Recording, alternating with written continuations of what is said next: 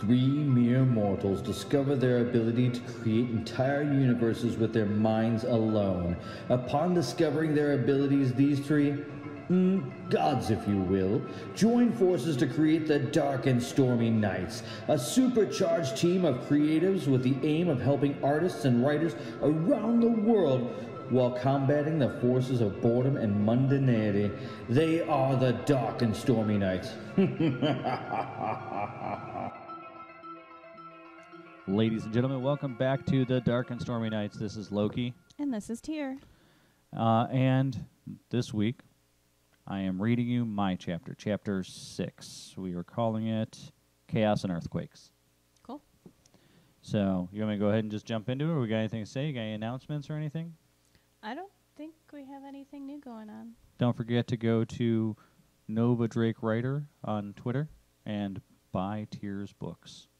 Mm. She she needs you to buy those. so, all right, we're gonna get going, I guess. Sounds good. All right, so chapter six. The black Dodge Charger screeches to a halt in front of the emergency room doors of Metro Hospital. The big red glowing emergency room sign glowing menacingly overhead. I just noticed that poor piece of writing. Okay. Lee gets out of the car and tilts the seat forward to let Elliot out. Elliot looks to Lee in hopes of finding emotional support, but Lee responds wearing a concerned look on his face. I'll be right up, kid. Go see your friend. Text me the room number. I have some pressing business to take care of real quick with our friend Rowan.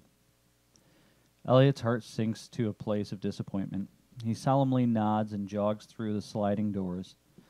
Elliot pauses in the emergency room lobby shortly to get his bearings. He notices a pattern and formulates a plan.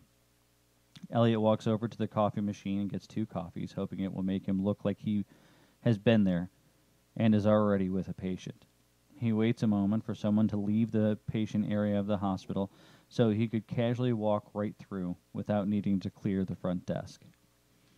He has been repeating the room number in his head since Bobby Ray from the Huntsman has was kind enough to message him. Elliot became quickly turned around in the sprawling emergency room corridors. He thought a moment about asking a nurse for directions, but feared it would blow his cover, and he quickly lost his nerve. Elliot's anxiety reached a critical mass. His head was spinning. He started to hyperventilate. He became flush and hot. Sensing his distress, a nurse put her hand on his shoulder. Are you all right, sir? Are you lost? Uh, um, um, uh, is all he could mutter out. What room number are you looking for? 133, Elliot blurted out as fast as he could. Okay, it's going to be all right. Follow me. The nurse patiently guided Elliot to the room. A well dressed, tall black gentleman carrying a briefcase was exiting the room as he arrived. Here you go. See, that wasn't so bad. The nurse giggled, uh, lightening the mood. Elliot blushed in embarrassment and thanked her. Putting her hand on his arm, she said, You are very welcome, and gave Elliot a warm smile. Elliot turned back to the room. Pops was lying with the bed in an almost upright position. He had his glasses on and he was reading some paperwork. Elliot quietly entered the room.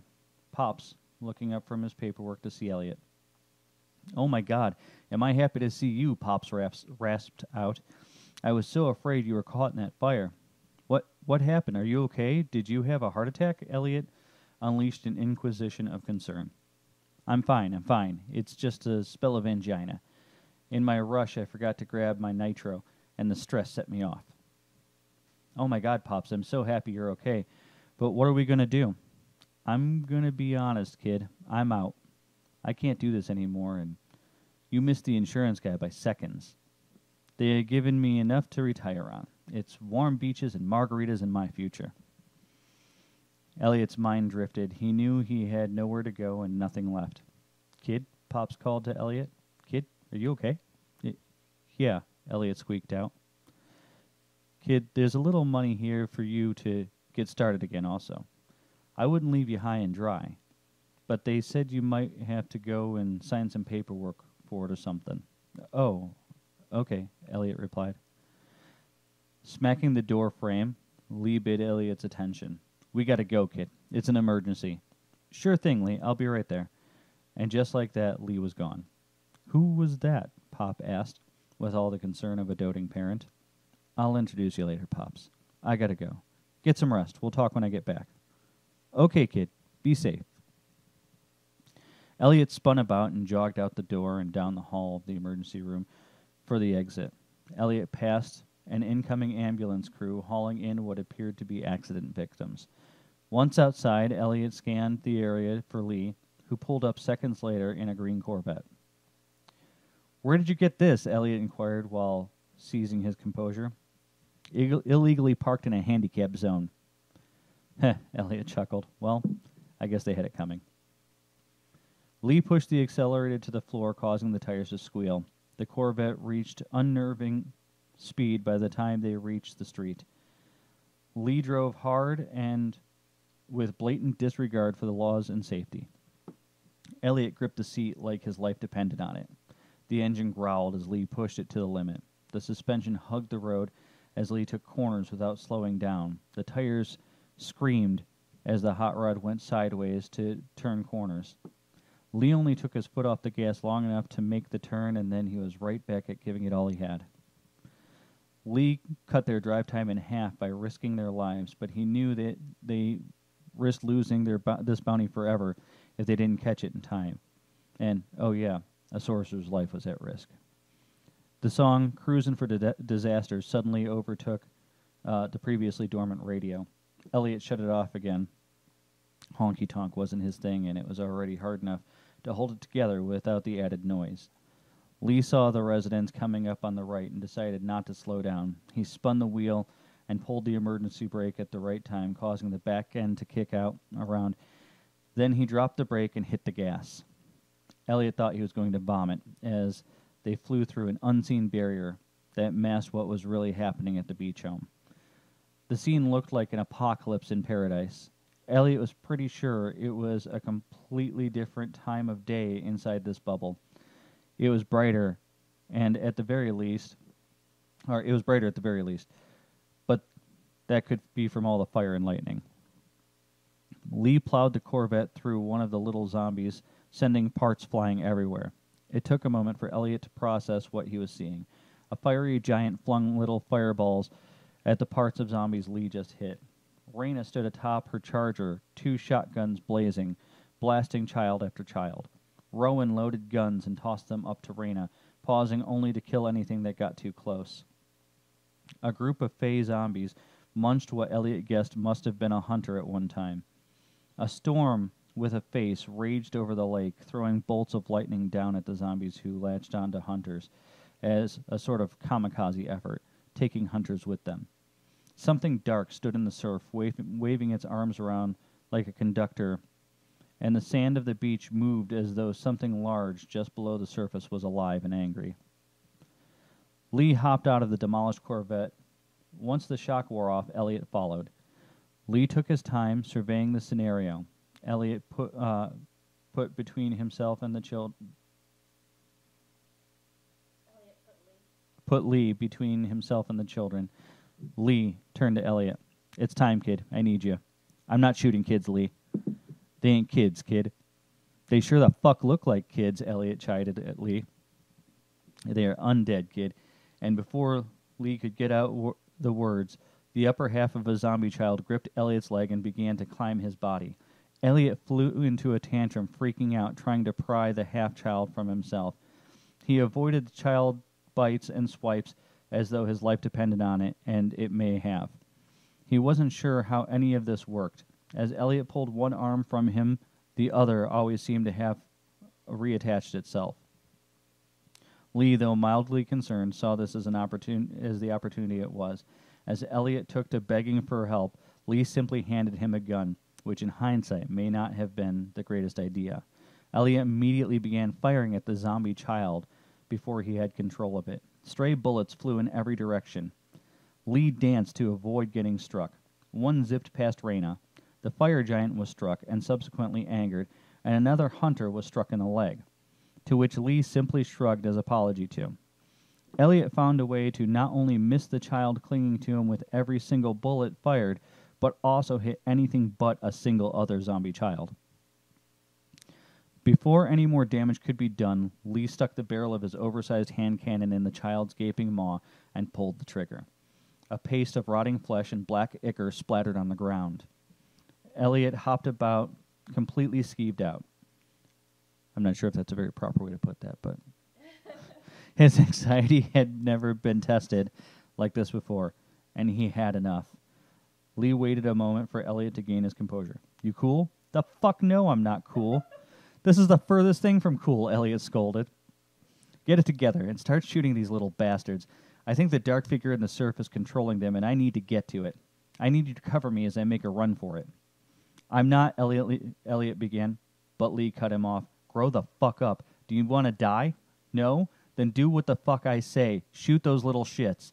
I'll do the heavy lifting, and this time try to hit one of them instead of anyone else. I didn't mean Lee cut him off again. It doesn't matter now. Uh, oh, well, I guess I'm just going to go all the way through. So, uh, Lee tossed Elliot a couple more magazines of ammunition, took one more look around, and made a run for it. Before Lee could make it to the Charger, the radio on the destroyed Corvette once again sprung to life and blared September. Lee dove uh, for the cover of the Charger and Raina's hail of gunfire. Is that? She began to ask. Yep, Earth, Wind, and Fire, he fi- Lee finishes. Approps. Lee attempts to assist Raina at first and looking up at her targets only to see she is shooting wild. Her attempts looks cool. Her attempt looks cool, but she is hitting nothing, and the invasion of zombie children seem to be ignoring her altogether. The children seem to be targeting anyone but her and Rowan. There's no time to confront this at the moment. I need to get to the the thing in the surf, Lee thinks to himself as excuse me, he eyeballs his next destination. He finds a spot next to Jeb, a hunter he has only met a couple times. Jeb usually sticks to the rural areas, but Lee had to admit he admired Jeb's gun collection. Jeb was taking cover behind an overturned pickup truck. His blue jeans and flannel were stained with blood, hopefully not his. Jeb fired two Colt 45s like an Old West gunslinger. He was turning zombie into paste in between dodging fireballs and lightning bolts. Are you wounded? Lee shouted to Jeb. It's just a scratch, Jeb shouted back. The two hardened men, hardened men nodded at each other as Lee took notice of a zombie creeping up on Jeb, which he quickly punted away. Lee tried to climb over the truck to reach to the gun ra- to reach the gun rack in the bed. He hoped to find something better suited for long-range combat. After struggling to get his old body up the chassis of the truck and onto the passenger side, which now faced skyward, Lee tried to unlatch the rifle without climbing off the truck. A blast whizzed past Lee's head as he tried. he first looked back at Elliot, whose focus was elsewhere. Must have been Raina, Lee thought. I'm going to kill that bitch when this is over. Lee thought to himself as he finally freed the latch. Lee lifted the rifle and lev- leveled it at the creature in the surf. Every time he thought the shot was lined up, the creature in the sand kept blocking his shot. He knew he had to get closer. Lee hopped down off the truck, dodging a swipe from the fire giant, and then took cover behind before it could launch a fireball at him. Lee looked back at Elliot, who now seemed to be holding his own. He had advanced and now stood near Rowan, who loaded weapons for Elliot as well now. It would be sad to take this relationship from him after this, but Lee was certain Rowan was up to no good, or at least Raina was and Rowan was accomplice.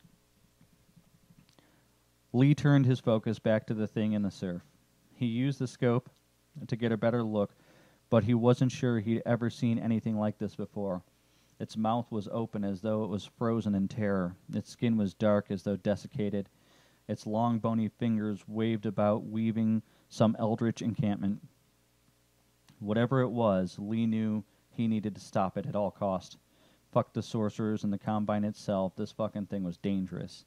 Lee loaded his guns and charged. He sprinted down the steps of the beach, pausing to fire the rifle every time he saw he was about to have a clear shot. The thing seemed to see his next move. Lee knew if he kept firing, he might get lucky sooner or later. He finished descending the steps with volley after volley from the rifle until his boot hit the last step. Lee paused and pulled the trigger one last time as something took hold of his leg and sank sharp teeth in. The pain was like a hot knife.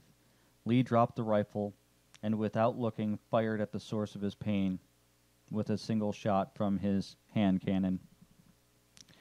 As much pain as Lee was in, he knew he had to keep going. Lee pulled a backup gun from his boot and fired round after round at the horror in the surf.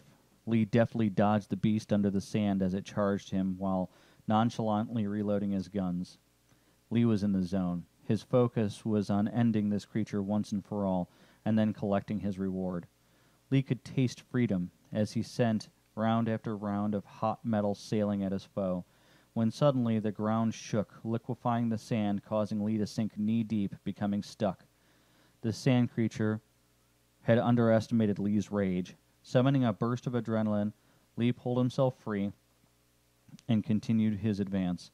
Once again, Lee dodged the sand beast, and once again he returned his focus to killing the monster in the water.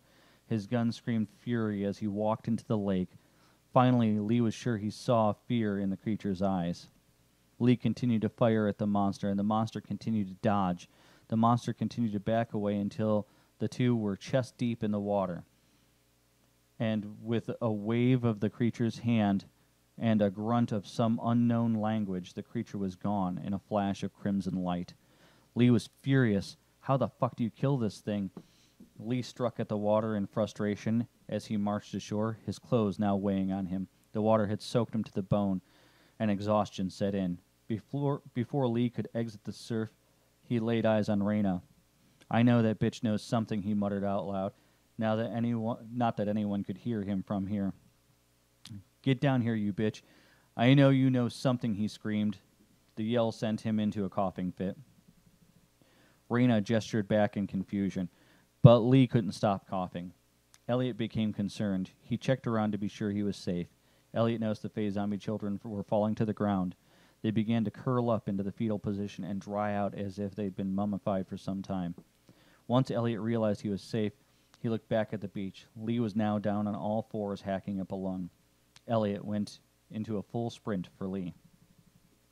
Lee had fallen over on his side by the time Elliot reached him. He was still breathing, but his breaths were shallow. Elliot screamed for help. Jeb and Rowan answered the call, helping Elliot carry Lee back to the driveway. Jeb and Rowan put Lee in the back of the SUV that was owned by one of the hunters that had died that day. Elliot hopped in the front seat and started the truck. Don't Fear the Reaper played. Jeb jumped in with him. Where do we take him? Elliot pleaded. I don't rightly know, Jeb answered. Rowan looked in the window. The bazaar, she said, with the somber tone of the moment. Lee knows the dragon lady who lives there. She can help him, but be careful. The bazaar is a dangerous place. I'll look out for him, Jeb piped in while tipping his hat. Elliot nodded to Rowan and peeled out of the driveway. Okay, cool. Do you want to take a break and then come back with like? Yeah, sounds good. We'll Some come stuff. back with the critiques and all that jazz. Okay. Meanwhile, deep within the depths of Castle Numbskull, our intrepid heroes explore the idea of being entertaining for once. Back to the action. Okay. All right, so you think maybe we need to tone down the finger pointing?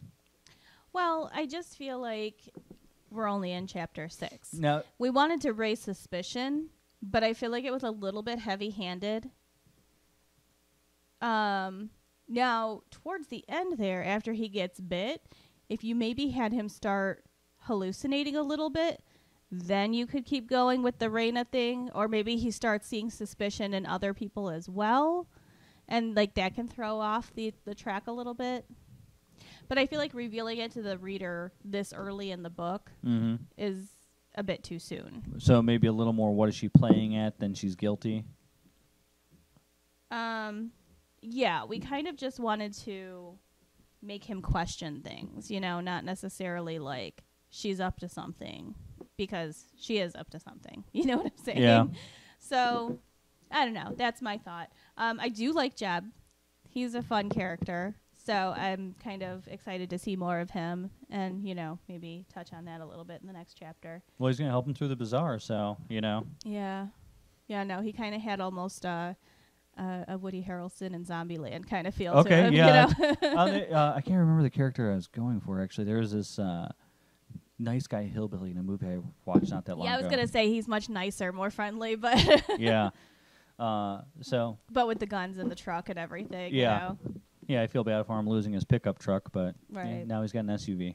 So Um, so yeah, he's he's kind of a fun character and a fun addition there. Um, I like that he noticed that Raina's shots were going wild. That's a good clue there. Um, did you mention anything about her standing on the car? yeah, yeah. I said she's standing on the hood of the Charger, which is he he didn't point out. Maybe I can put that in there. Is that that Mhm. maybe he's like she would never do that. You know, Right. she loves that thing. Right. Uh, so yeah, just maybe note his surprise or something in that, um, so that we kn- so that the reader knows that it's out of character. Um, so yeah, that's cool, and I like that he's noticing that her shots are going wide and that she's not doing anything. I think honestly, if you want to keep the accusations towards the end of the chapter in there, I just think that you maybe need to have him hallucinating or seeing other things where he's suddenly like almost paranoid. You know, like it, Okay, where- maybe where it you starts with accusation and then descends into paranoia. yeah, like but not necessarily just towards her. No, I know, but maybe it starts just towards her, right? So maybe it's you know that's where his rant starts, and then you know I assume it's the it sand creature that bites him that that is causing his illness. No, it was one of the children under the s- they were one of the children were under the stairs. He was Oh, okay. Um, I thought there was some. I th- I missed that. I think. but Uh, anyway, I don't think I said because he you didn't did. look You at just it. said teeth sank into his. So I assumed there was something in the sand because you mentioned s- the sand was stirring angrily. yeah, it was just another. That was the earth elemental. So- Oh, okay, okay. So that was just me drawing lines that weren't there. Um, so that's cool. The he's actually been bit twice now. Lee has. Yeah, but I never said whether it broke his skin or anything the Oh. first time, so we didn't really address it. Um, so that's cool. If you, yeah, if he's been bit by the zombie at this point, and then I think that from that point on, you need to start making things weird. You know, like and that yeah, way, like, like flips into hallucinations, maybe. yeah, like or things start to happen, and then by the time he's wandering out of the water, like he's full on paranoia kind of shit, you know. And then you can leave like the the accusations towards Raina, and maybe throw in accusations towards other people. Uh, maybe even something throwing something Elliot's way.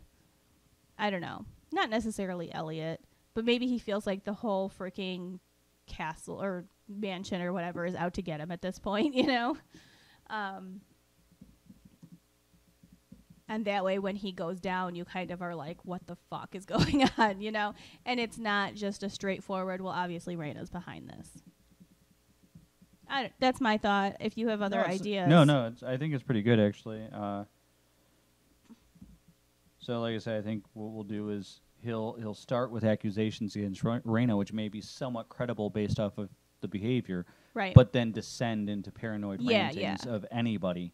You know, right right you like maybe there's just a hunter who's like dude are you okay? And he's like what did you have to do with this? Or you know something like that. So that he starts just accusing everybody and they're all like what the fuck you know? And then he goes down and it starts to become apparent that he's he's been affected by something. Yeah, Or maybe even if we have more than one hunter who's still alive that was bitten, maybe they all start going crazy paranoia. You know? Add a little bit of chaos into that end scene where Jeb and, and Elliot have to get Lee out of there while other hunters are kind of starting to lose it as well. yeah, yeah. It could be good. Mm-hmm. Now we've lost the children at this point, so Right.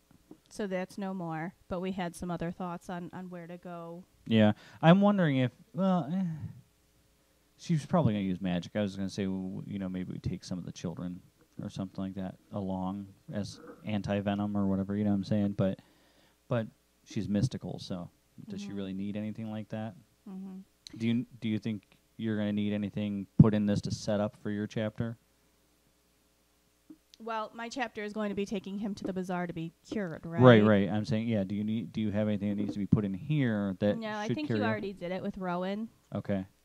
um, which is an interesting addition because we know that she has feelings for Elliot, or she at least has kindness towards Elliot. Um, and whereas that's kind of going against Raina's master plan here, so that's maybe her first. Maybe we want to lower her voice a little so she whispers it, so that Raina can't overhear her. So yeah, we'll say she whispers in the window. Mm-hmm. So that'll kind of give the reader a clue that she's obviously keeping that from someone that she's helping. You know. I say she looks in the window. We'll just change that one word to whispers.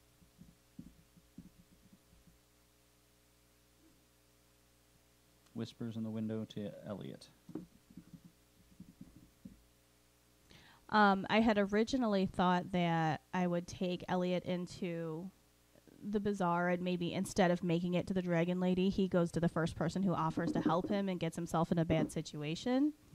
But if if Rowan pointed out that he needs to go to that lady specifically, then I mean, they might get accosted going through the bazaar. Well, yeah, I'm sure they'll see fresh meat and go after him. But he's got Jeb to protect him from making a bad deal. But it could still be a good scene where somebody tries to, you know, like manipulate him or or stop him. I'm sure they would.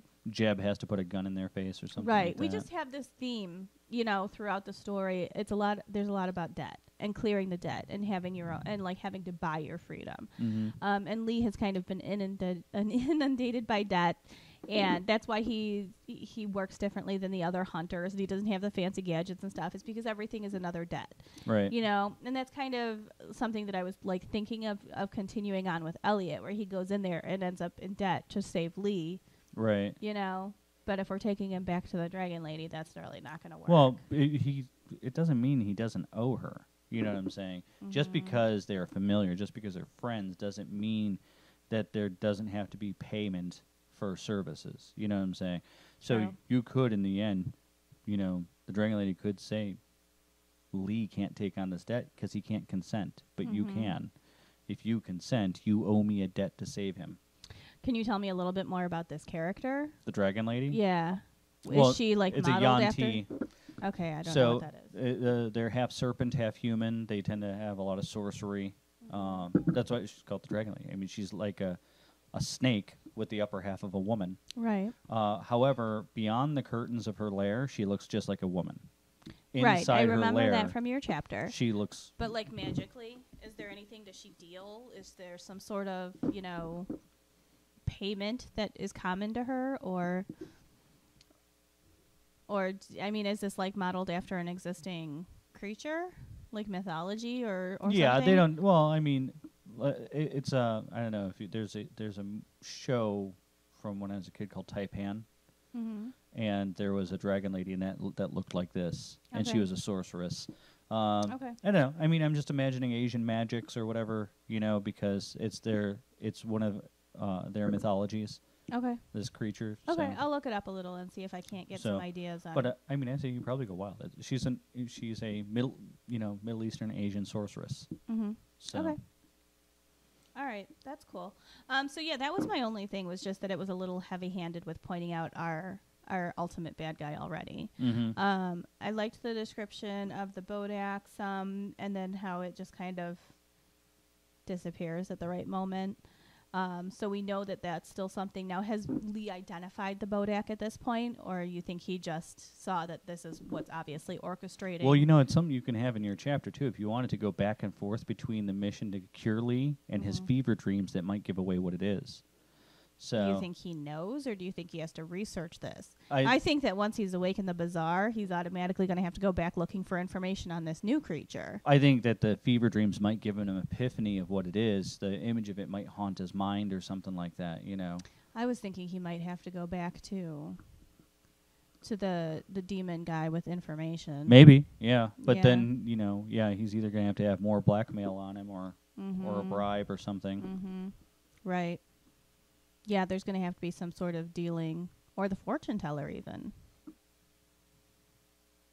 I don't know. There's a lot of places we could go with it. I guess we'll figure that out more in the next plotting episode. Yeah, we'll do that. But soon. yeah, I think that where you're you're leading up so far in this one is fine. We'll figure it out from there. Okay. Are we good today? Um, yeah, I didn't really have much else. Like I said, I liked the character. There's a lot of visual going on uh, in this one, you know. So I was a little worried I might have been heavy-handed with description in some areas and not enough in others. I don't think that you were heavy-handed in the description. I think the only thing is that when we do our editing through, is we'll want to intersperse the description with more action, Yeah. you know, or like as opposed to just mentioning the si- shifting earth and the dot and the fireballs and stuff. You want to have them like stumbling on the earth and dodging the Yeah, yeah. fireballs, you know, that kind of thing. Like I said, I, I- well, I told you before the show, I wasn't like, I just, I had a hard time writing this one, you Right. know? And normally with action sequences, I don't have a very hard Mhm. time with them, but I just, it took everything I had to write this. Yeah, no, I feel you. I've been struggling lately too. Um, so, But no, I think it was good. It's it, those are little things that you normally fix in editing. You know, just Yeah. interspersing. yeah, no, I knew, I know I said, I did a lot of, of, you know, so and so did this, so and so did that. And it's just like, Mhm. you know, instead you would like show it better, you know? But I'm like, you know what? This is the, the first draft. so, Right, get exactly. over it. So yeah, it's not a big deal. Like, and still it ended up being six and a third pages, you know? right. It's yeah, it's not a big deal. Those are things that you normally fix in editing. So it is what it is. It's cool. Um, as long as you you know you've described the scene and we know what we're looking at when we go back, that's what matters. Yeah. Okay. So, any more announcements? Anything you got? Nope. Okay. I still have a free book on my website if anybody wants to sign up for my newsletter. Tell them what that website is. It is novadrake.vegvasirmedia.com. And Um, and I have that. It's a, a new series coming out in urban fantasy slash paranormal romance, and, and the prequel is up for free. cool. And don't forget to go follow us at the Dark Stormy K1 on Twitter. Uh, we also have a Reddit page, r slash Dark and Stormy Knights. Uh, that's nights with a K. So go check us out and uh, tell your friends, and we'll see you next week.